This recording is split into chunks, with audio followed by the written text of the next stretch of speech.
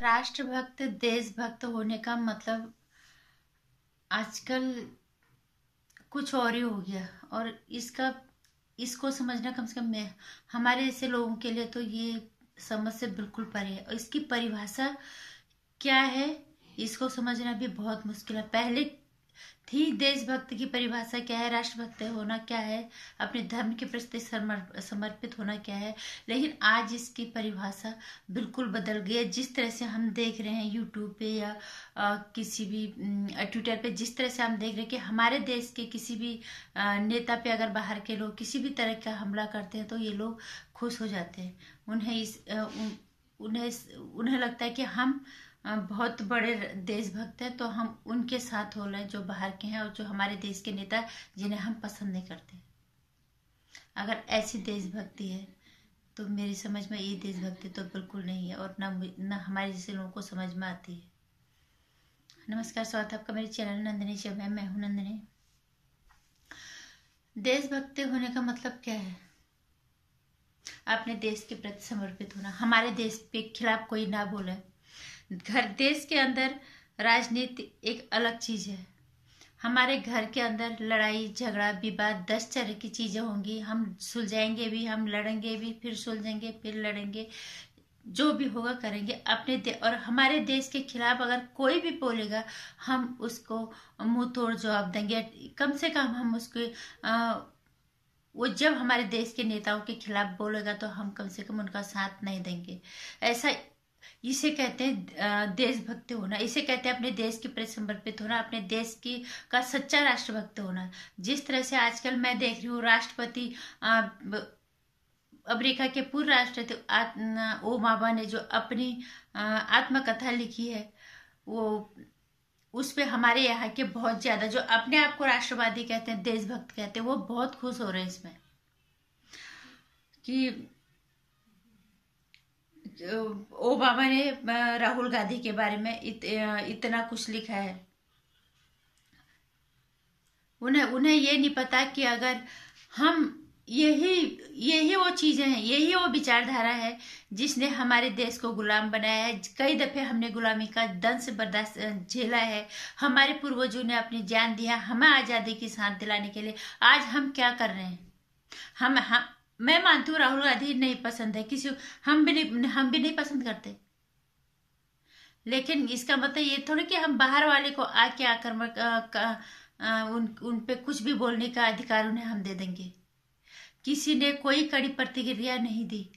Obama Africa के राष्ट्रपति है, महाशक्ति है, बहुत बड़ी शख्सियत है, लेकिन उन्होंने अपनी सोच को काफ़ी छोटा कर दिया। मैं ये कहूँगी, और उन्होंने वो इस बात को दूसरी तरह से भी कर सकते लिख सकते थे। और अभी भी अगर हमारे देश के नेता उस पर प्रतिक्रिया अपनी देते, अपना थोड़ा सा सख्त रवैया दिखाते तो शायद उसको बदलने पे वो मजबूर हो जाते। हमारे देश के नेताओं को ये बात पता होनी चाहिए कि हमारा देश जब जब गुलाम हुआ है, इतिहास उठा के देख लो, वजह यही रही है। अगर आप किसी को अंगुली पकड़ने दे दो ना, वो फिर हाथ पकड़ के पूरा तुम्हारे, तुम्हें खींच लेगा। यही रहा है गुलाम गुलाम होने का कि आज हम जितने दफे गुलाम रहे, जब भी हमारे देश मुसीबतों में आया है, वजह यही रही है। आजकल हम देख रहे ट्विटर पे बहुत लोग अपने आप को जो राष्ट्रभक्त कहते हैं, वो बहुत खुश हो रहे हैं। अलग अलग तरह से लोगों ने लिखा है लेकिन मैं उनको एक चीज़ और कहना चाहूँगी, जो लोग इस तरह से खुश रहे, वो कम से कम दिल्ली के मुख्यमंत्री अरविंद केजरीवाल से कुछ सीखे जब दिल्ली के चुनाव, जब लोकसभा चुनाव हो रहे थे, तब राष्ट्र, पाकिस्तान के जो कोई नेता है, उन्होंने हमारे प्रधानमंत्री के बारे में कुछ गलत बोल दिया था। तो दिल्ली के जो मुख्यमंत्री अरविंद केजरीवाल है उन्होंने साफ़ बोला था वो हमारे देश के प्रधानमंत्री हैं। उन्हें कुछ भी आ, कहना उनसे सवाल पूछना उनसे लड़ाई झगड़ा करना ये हमारे हमारा अधिकार है हम करेंगे किसी बाहर वाले को हमें अधिकार बिल्कुल नहीं देंगे। तो मैं इन लोगों को कहना चाहूँगी कि इन्हें सीखना चाहिए अरविंद केजरीवाल जी से। वैसे तो ये बहुत बोलते हैं कि अरविंद केजरीवाल जी पढ़े लिखे हैं ये सभी कहते हैं, और हैं भी, लेकिन उन्हें सीखना चाहिए। लेकिन बहुत लोगों ने यह भी बोला कि वो स्मार्ट राजनीति कर रहे हैं। स्मार्ट राजनीति सही, लेकिन हमारे देश के हित में है। वो किसी बाहर वाले को आक्रमक नहीं होने दे रहे। बाहर के राजनीति विचारधारा को हमारे देश पे आक्रमक नहीं होने दे रहे। ये उन्होंने अपनी देशभक्ति का प्रमाण इसे कहते हैं। घर के अंदर राजनीति हो रही है, हो रही है। कोई जीता, कोई हारा, कोई कुछ, किसको कुर्सी मिली, किसको नहीं मिली। वो एक अलग मुद्दा है। लेकिन हमने जब भी बाहर वाले को मौका दिया है, हमारा देश गुलाम हुआ है। और एक ट्विटर या के ट्विटर यूज़र है, इनका कहना है कि धन्यवाद बराक ओबामा जी पप्पू को अंतर्राष्ट्रीय पप्पू घोषित करने के लिए। इन्हें पता होना चाहिए कि राहुल गांधी हमारे देश के नेता है। इससे पहले हमारे देश के नागरिक है। हमारे देश के किसी भी नागरिक पे अगर कोई बाहर का हमला करेगा, क्या हमें उसको बर्दाश्त करना चाहिए?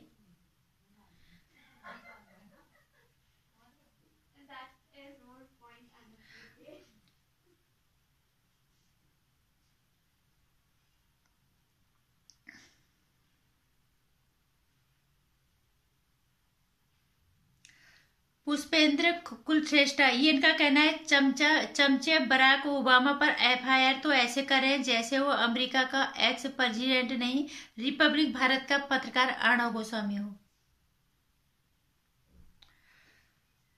अनुपम खेर जी, काफ़ी बड़ी शख्सियत है, बॉलीवुड में अच्छा खासा उनका नाम है। वो कहते हैं, अभी तो बराक ओबामा की एक किताब की चर्चा है। सोचो जब डोनाल्ड ट्रंप अपनी किताब लिखेगा तो तब कांग्रेस पार्टी का क्या हाल होगा? एक और कई यूज़र्स ने ये लिखा है कि बराक ओबामा ने अपनी आत्मकथा लिखी है, या कांग्रेस पार्टी की पोस्टमार्टम रिपोर्ट बनाई है। इस तरह की मानसिकता वाले लोग अपने आप को राष्ट्रभक्त कहते हैं, या अपने आप को देशभक्त कहते हैं। मैं उनको कहना चाहूँगी, अरविंद केजरीवाल जी से सीखो। उन्होंने जिस तरह से, वो भी धुर विरोधी है, मोदी जी के, सबको पता है, वो भाजपा को बिल्कुल पसंद नहीं करते।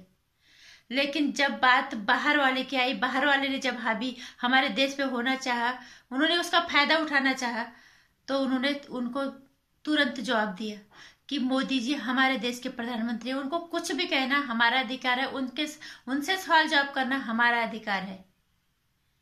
ये किसी बाहर वाले को इस, इसका अधिकार हम नहीं देंगे और यहाँ और ये हम बर्दाश्त भी नहीं करेंगे।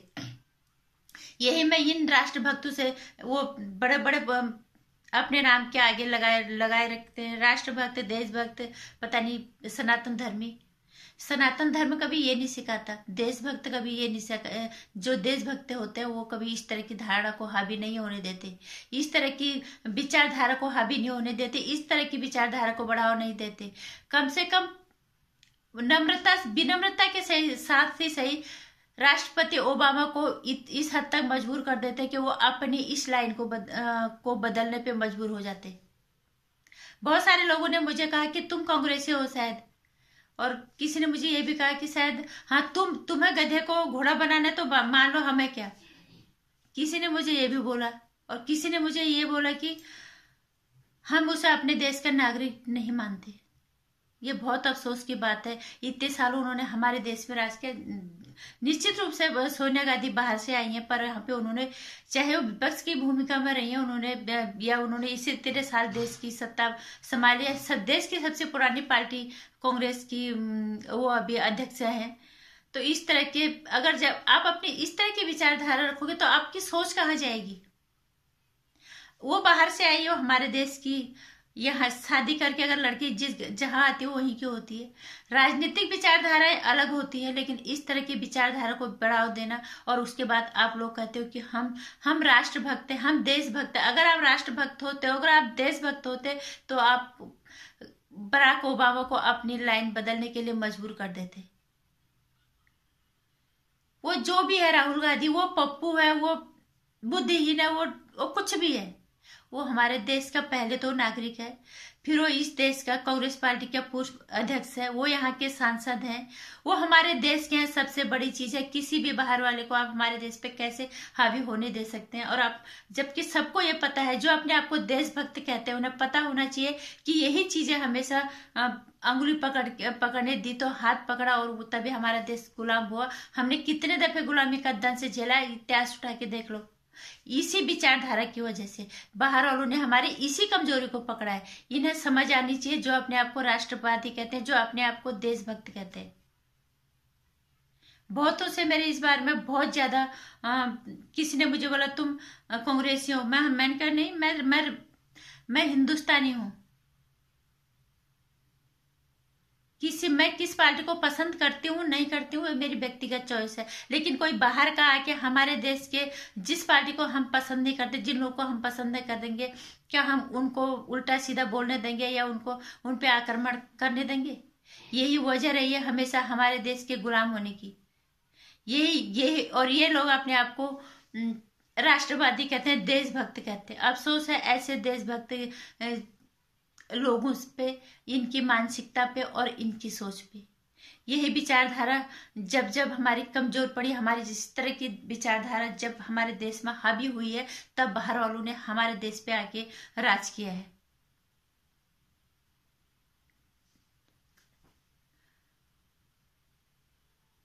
मैं यही कहना चाहूँगी, फिर भी अभी भी कि अरविंद केजरीवाल जी से सीखो, जिन्होंने इतनी खूबसूरती से जो उनका जवाब दिया और लोगों ने उनको कहा कि स्मार्ट राजनीति करते हैं, वो जो भी करते हैं, अपने देश के अंदर करते हैं, उन्होंने अपने देश के प्रधानमंत्री का अपमान बर्दाश्त नहीं किया।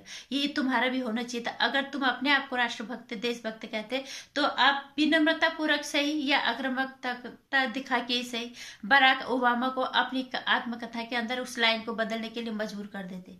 बराक बराक ओबामा बहुत बड़ी शख्सियत है, उन्होंने अपनी सोच को छोटी कर दिया। कम से कम उन्होंने इस बात को वो दूसरी तरीके से भी कह सकते थे, ताकि समझ जाते, लोग बहुत अच्छे से समझते हैं। ऐसा नहीं कि कोई नहीं समझता, लेकिन जिस तरह से उन्होंने सीधे सीधे व्यक्तिगत रूप से हमारे देश के नेता को अपने शब्दों से मतलब आक्रमण आक्रमण किया, वो बहुत गलत है। मेरे हिसाब से बहुत गलत है और उन लोगों को कम से जो लोग अपने आप को देशभक्त या राष्ट्रभक्त कहते हैं, उन्हें सीखना चाहिए कि देशभक्त क्या होती है और राष्ट्रभक्त क्या होती है। कल को हमारा देश फिर भी, फिर से अगर किसी मुसीबत में पड़ा, इसी इसी विरोधी विचारधारा की वजह से, इसी तरह की जो विचारधारा है, इसकी वजह से। किसी बाहर वाले को हमारे देश पे आक्रमण करने का, किसी भी तरह का टिप्पणी करने का अधिकार नहीं है। मेजर विचारों से इतफाक रखते हो तो मेरे वीडियो को लाइक और शेयर करना, चैनल को सब्सक्राइब कर देना, आने वाली वीडियोज़ की जानकारी के लिए घंटे